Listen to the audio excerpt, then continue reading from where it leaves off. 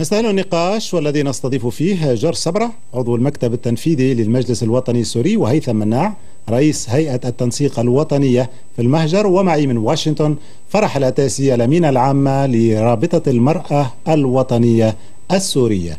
أهلا بكم. إذا آخر ما جاء من الأخبار هو أن موسكو أكدت بأنها لن تقبل بالضغوط التي تمارس عليها فيما يتعلق بالملف السوري وأنها لن تغير موقفها. الاستنكار الواسع الذي قوبلت به مجزرة الحولة من جهة.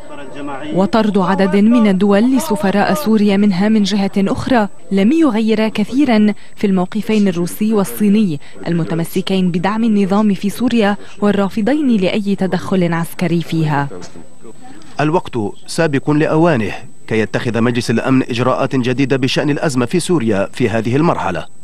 روسيا ستمنع أي محاولات للسماح بالتدخل العسكري. الموقف الروسي ليس جديدا وهو أتى بعد تصريح الرئيس الفرنسي بأن تدخلا كهذا قابل للنقاش. التدخل العسكري ليس مستبعدا شرط أن يتوافق مع القوانين الدولية أي أن يكون موقع إجماع في مجلس الأمن. موقف أستراليا أتى موافقا مع فرنسا فهي أبدت انفتاحا على مناقشة الحل العسكري لكن مع شرط الحصول على تأييد دولي. لا أستبعد مناقشة الحل العسكري لكننا نحتاج إلى إجماع داخل مجلس الأمن ليحصل ذلك. وعلينا أن نأخذ بعين الاعتبار انتقادات الروسيين والصينيين وهذا حقهم لكيفية حصول هذا التدخل. الأنظار كلها تتجه نحو مجلس الأمن إذن في وقت أعلن مجلس حقوق الإنسان التابع للأمم المتحدة أنه سيعقد جلسة خاصة لبحث أحداث مذبحة الحولة ولو أن المراقبين يشددون على أن هذه الخطوات رمزية طالما أن الولايات المتحدة وحلفائها يحاولون منذ العام الماضي ومن دون جدوى إقناع روسيا والصين بتغيير موقفهما من دمشق. فرح الأتاسي ضيفتي من واشنطن. طبعا تتابعين ضغوط تتابعين كل الإجراءات الدبلوماسية التي اتخذت ولكن ربما هناك سقف لن يتم الوصول إليه ربما بسهولة وهو سقف مجلس الأمن. نعم توفيق. بعد الرحمة على أرواح شهداء اليوم أكثر من 16 شهيد في درعا وحمص ومناطق متفرقة من سوريا. نتساءل إن كان المجتمع الدولي بحاجة إلى صور أكثر من 100 شهيد وأطفال ممزقة وجوههم ومذبوحين بالسلاح الأبيض لكي يتحرك آه يبدو أنه حصل انقطاع. في الاتصال وعبر الأقمار الصناعية آه، مع آه، واشنطن هيثم مناع. تبعت ما بدأت تقوله ولكن هناك الآن ربما تحرك روسي. وصف بأن الموقف الروسي تغير نوعا ما. ما صحة هذا الكلام؟ أنا أظن بأن الموقف الروسي منذ الشهر الثاني من هذا العام تحول من موقف جامد إلى موقف ديناميكي أكثر ديناميكية. ولو أنه لم يتغير بالشكل المطلوب الذي يستجيب لموقف الشعب والحراك المدني الثوري في سوريا. لكن بالإمكان القول بأنهم لم يعودوا يتسمرون حول صورة محددة لنظام ذهب عصره وبقي العد العكسي يعني متى يذهب. فبهالإطار هذا بالإمكان القول بأنهم يقبلون أشياء كثيرة ويطرحون أشياء كثيرة ويناقشون عدة أفكار. طيب ما هو الجديد الذي تطرحه موسكو على سبيل المثال أمام كل هذا الضغط الدولي؟ أنا أظن بأن اليوم المشكلة الأساسية المطروحة بالنسبة لسوريا هي مسألة هل آه، خطة كوفي عنان ستنجح ما زالت قابلة للعيش أم أنها قد شيعت وماتت؟ وإن كانت قابلة للعيش فهل هي قابلة للعيش بشكلها الحالي أم من الضروري تغييرها على ثلاثة أصعدة أساسية؟ التركيب الوظيفة والهدف. التركيب بمعنى مضاعفة عدد المراقبين الدوليين ثلاث أو أربع مرات.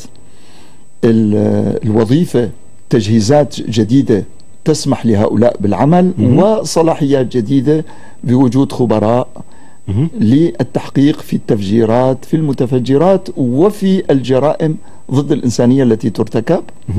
وبالنسبة للهدف الهدف هو وضع حد للدكتاتورية والانتقال إلى نظام ديمقراطي في سوريا. طيب أنت تنضم تضم صوتك إلى صوت المجلس الوطني السوري الذي يطالب يقول بأن تنحي الأسد هو الحل؟ أنا أظن بأن السؤال ليس هنا.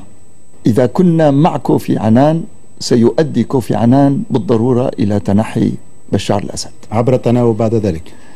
أه، لا مش بعد ذلك. الخطة تقضي يعني خلال الخطة طبعا جاءت في الخطة. لأنه لدينا قناعة كاملة بأن التحول السلمي ممكن أن يكسب أكبر تعبئة شعبية ممكنة في البلاد. أما المواجهة العنفية فستحولنا إلى مواجهة وتقسيمات أفقية بين مجتمعين أو أكثر. من هنا نحن ندعم تطوير أداء كوفي عنان حتى إذا وصلنا إلى صيغة قوات حفظ سلام فيها بحيث تكون قادرة على أن تنتقل من النقطة الأولى إلى النقطة السادسة التي تنص على التفاوض مع من لم يتلوث بالدم أو بالجرائم من أجل ذهاب الدكتاتورية ومن يمثلها والمجرمين ومن يمثلهم وبقاء سوريا. بقاء الشعب السوري بقاء الدولة السورية وبناء مؤسسات ديمقراطية في البلاد. جورج صبرا دائما في هذا الموضوع قابل للعيش أم لا؟ وهو يختلف نوعا ما في المطالبة بتنحي الأسد. بالنسبة لي آه، ليست مبادرة السيد أنان هي التي تستوجب آه، رحيل الأسد وإسقاط النظام. ما استوجب ذلك هو أصوات السوريين قبل عام من الآن. عندما بدأوا بشعارات الحرية والكرامة ثم انتقلوا إلى إسقاط النظام بعد أن ولغ النظام بدم السوريين إلى حد لا يطاق. منذ ذلك الوقت أصبح سقوط النظام واجبا وأصبح رحيل الأسد وهو أحد أكبر رموز القتل في البلاد هو النافذة التي ستفتح على الحلول الحقيقية والإيجابية لبلدنا. لكن مجريات الأمور الآن أريد أن أعلق تغليظ صغير على شعور السياسة الروسية بالضغط عليها لدرجة تقول أنه لن ينفع هذا الضغط. أنا أسأل هل أصبح التوحد بين السياسة الروسية والنظام السوري إلى هذا الحد؟ هل طرد السفراء السوريين من العواصم الأوروبية يعني الروس إلى هذه الدرجة واعتبروه ضغطا عليهم؟ وهل تقبل روسيا أن يعبر عن سياستها أو أن سياستها تحمي نظاما قاتلا أصبح نتوءا في المنطقة؟ هذا سؤال كبير يجب أن تجيب عليه السياسة الروسية ليعترفوا أن السياسة الروسية الآن محرجة. محرجة والذي أحرجها ليس هو طرد السفراء ولا السياسة الدولية إنما منظر الأطفال السوريين في الحولة والجرائم المتتالية في حماة وبعدها في دور الزور. ثقل الدم السوري خلال 15 شهرا هو الذي يحرج السياسة الروسية ويحرج كل المترددين في الداخل وفي الخارج من قول كلمة الحقيقة إن هذا النظام أصبح خطرا ليس على حياة السوريين وليس على مستقبل سوريا فقط بل على الأمن والاستقرار في المنطقة. وها هي لبنان والوضع في لبنان بدأ يحصد بعد نتائج سياسات هذا النظام وما يفعله خلال أكثر من 15 شهرا في بلدنا حتى الآن. أنت برأيك مثل ما طرح السؤال هل هي قابلة للعيش هذه الخطة أم لا؟ لنرى الواقع. أن نحن لسنا في مخبر لا هو أعطى حتى حتى نقاط التركيب الوظيفة والهدف. نحن نريد الواقع المخبر حوالي شهرين طرحت المبادرة. أيدها شكليا النظام السوري أيدتها المعارضة بما فيها الجيش السوري الحر التزم أيضا بتطبيق بنودها. ما الذي جرى على الأرض؟ الآن ليس من المبادرة إلا النصوص الستة للبنود الستة على الورق. البنود الستة على الورق. والسيد أنا يذهب إلى دمشق ويخرج منها. والمراقبين يعلنون ذلك لكن أين هي النتائج؟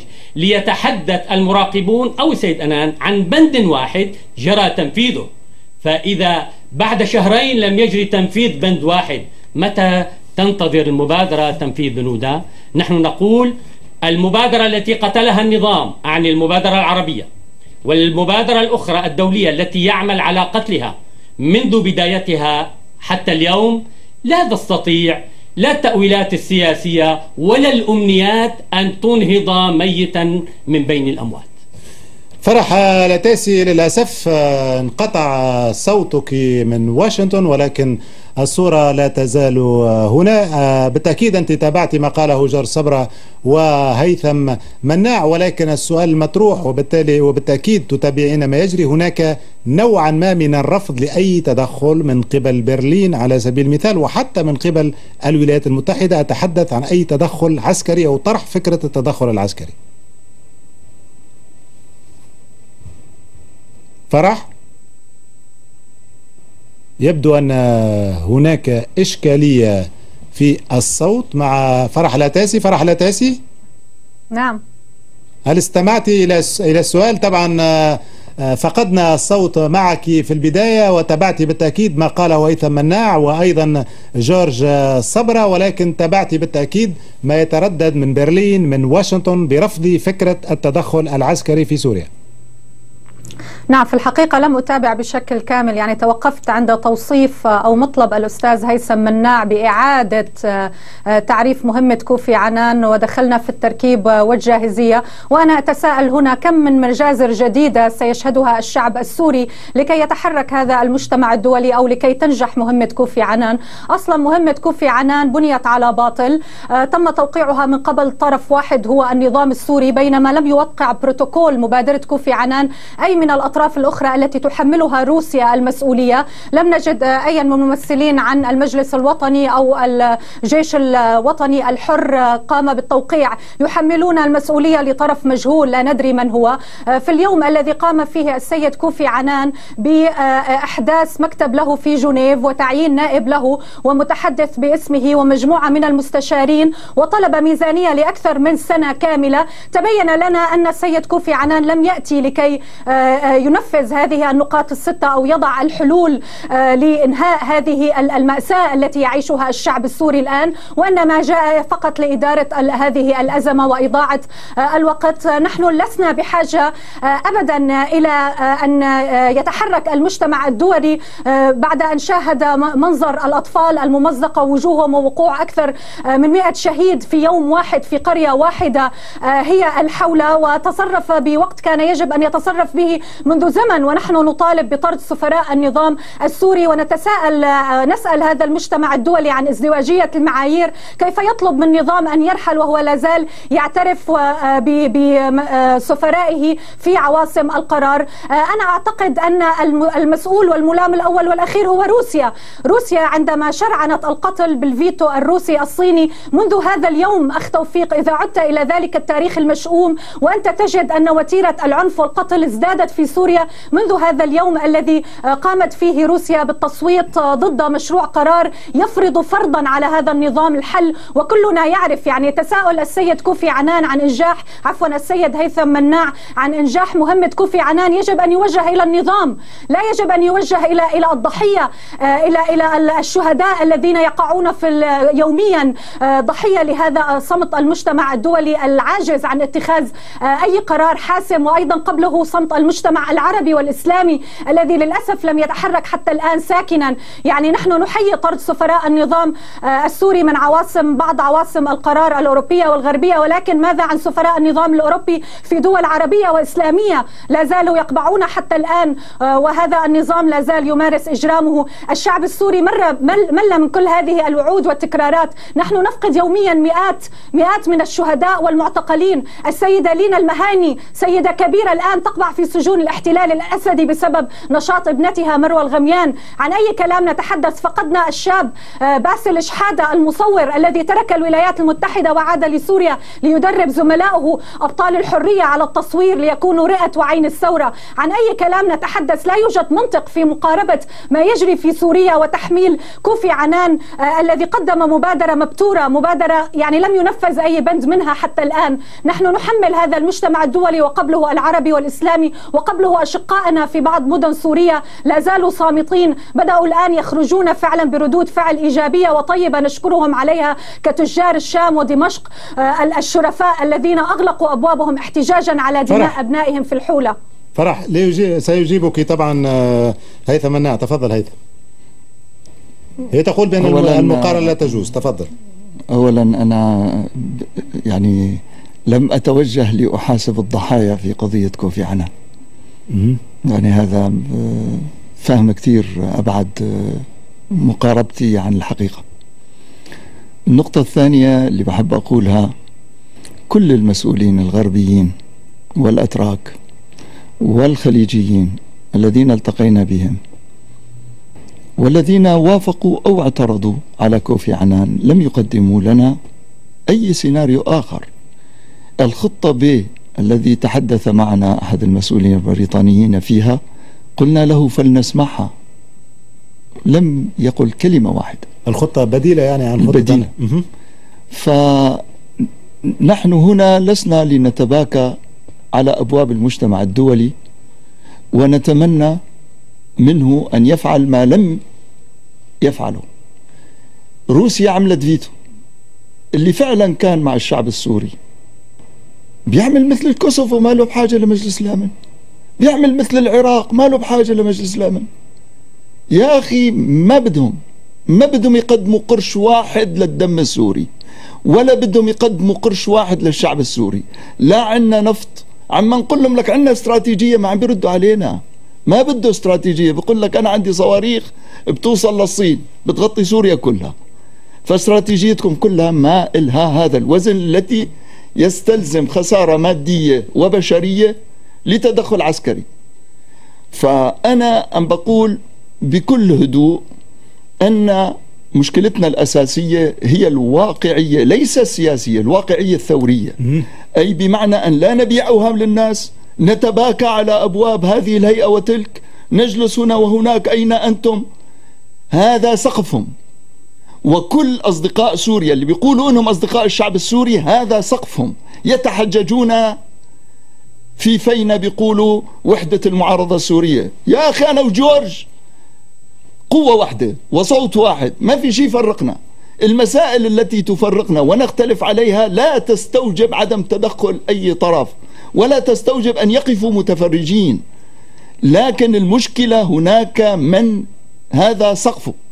فلنتعامل معه على هذا السقف ونعتمد على إمكانياتنا الذاتية ونشوف شو بإمكاننا نقدم من أجل القضاء على الدكتاتورية والخلاص من النظام الدكتاتوري السوري بكل عصابته رأسه وعصابته. هذا هدف نحن السوريين نقدر نقول بالإمكان أن نذهب بعيدا فيه لأنه نحن معنيين بأهلنا بإخواننا بجنودنا بكل شيء. بينما الآخرين للأسف أحيانا يضحكون ونحن نتكلم عن الطفولة الميتة اللي بتسقط بالأرض جثث. فللأسف نحن نقول هناك سياسة عملية الآن مطروحة علينا. نحن بنقول لهم طيب روسيا والصين والولايات المتحدة الدول الخمسة الدائمة العضوية ماذا قدمتم على صعيد الإغاثة؟ إذا انتقلنا للنقطة ب رقم اثنين في كوفي عنان. اللي هي عملية الإغاثة لحوالي مليون إنسان سوري. قدموا 37 مليون دولار, دولار. أي أقل من 10% من الاحتياجات التي تقدر بنص مليار يورو. فكيف هذول بدك تقول لي إنهم حريصين على الشعب السوري ويقفون مع الشعب السوري إذا كان مخصصين أي ميزانية لنقطة أساسية في خطة كوفي عنان. طيب سنة تاسية الأمينة العامة لرابطة المرأة الوطنية السورية. شكرا جزيلا لكم.